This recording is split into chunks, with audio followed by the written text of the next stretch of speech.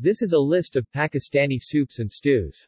Pakistani cuisine is a refined blend of various regional cooking traditions of South Asia. The cuisine significantly varies in different areas of the country. Pakistani cuisine is known for its richness and flavor. Pakistani soups and stews Abgosht, lamb and lentil soup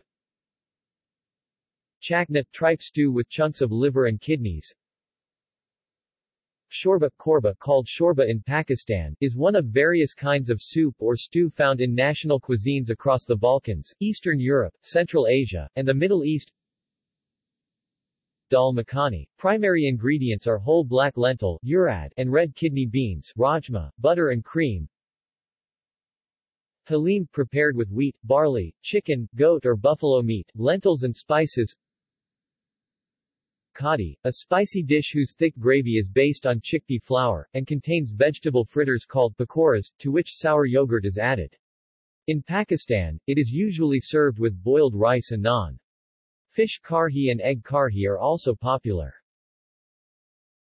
Khichra, a variation of the dish halim, popular with Muslims of South Asia. It is prepared with lentils, rice, meat and spices. Nihari, regarded as a national dish of Pakistan. Siri Paya minus a Pakistani delicacy, its main ingredients are the hoof trotters and head of a lamb or goat, cooked with cilantro and ginger. See also. List of soups. List of stews. Pakistani meat dishes References